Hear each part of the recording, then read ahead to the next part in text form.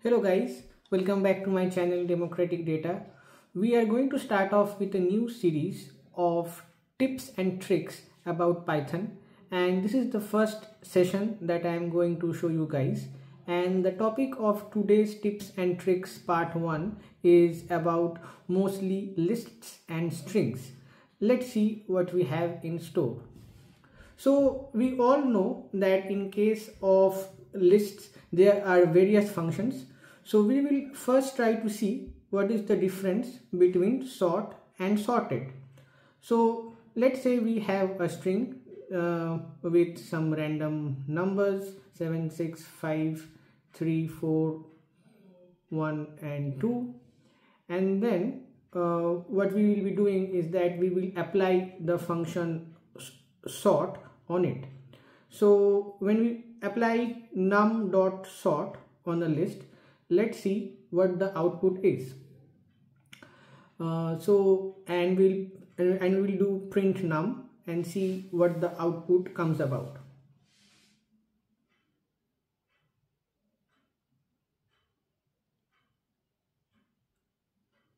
So as you can see, the initial list itself got self-indexed and it was arranged from uh, in an ascending order. However, let's see how the sorted function is different.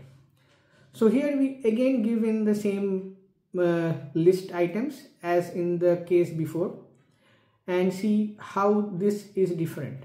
So what we will do, we will take another uh, assign this sorted list into another list and then compare the outputs of the two.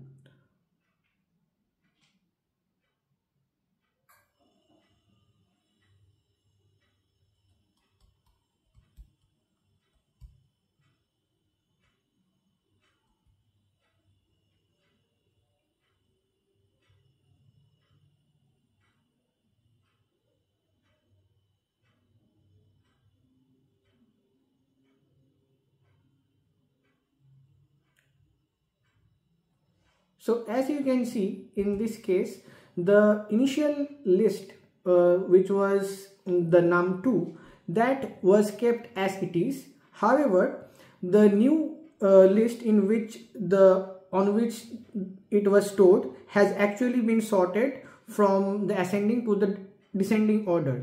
So this is quite clear that in case of sorted, it actually keeps the original list as it is and it then uh, sorts into and saves it into another list.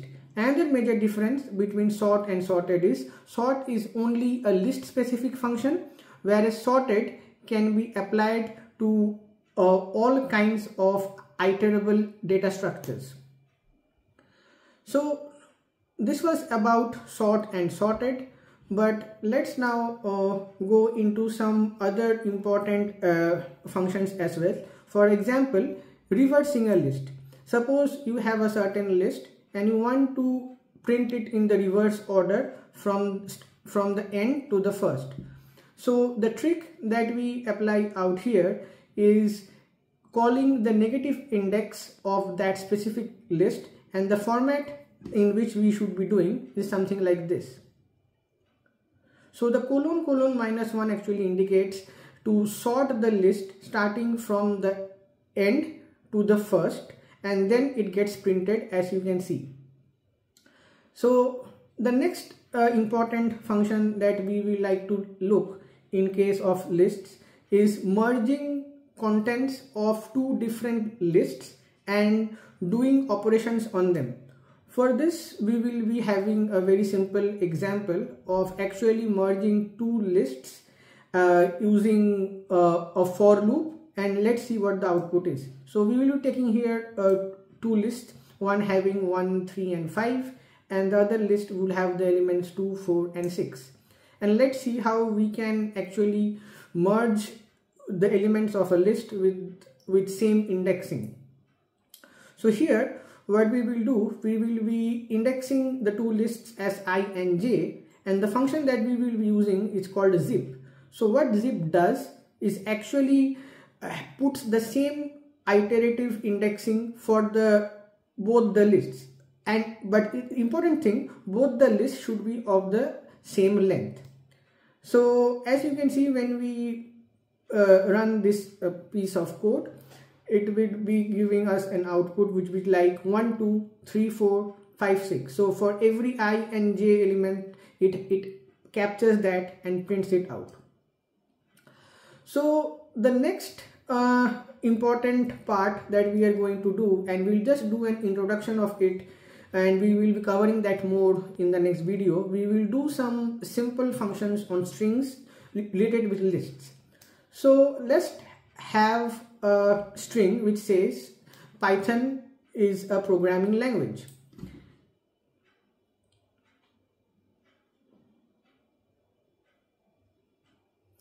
And now what we want to do is to split this string into separate elements where each of the elements would be a part of a string. So here we would be using the split function using the separator a single space because that is the separator which is there in the string and as you can see in the output it has been separated into separate elements in a list. Now we will do just the reverse of this. So let's actually put this output list as an input and we would try to merge it into a single string. Let's see how we can do that.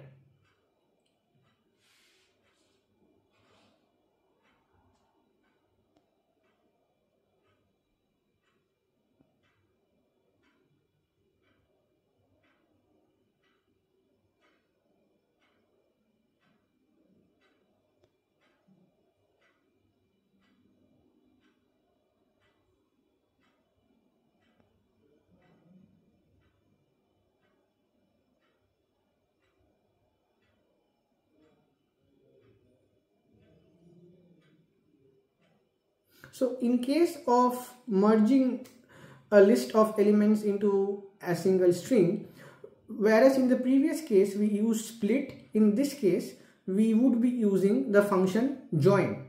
So as you can see, the syntax would be starting off with the separator element, which in this case would be a single space.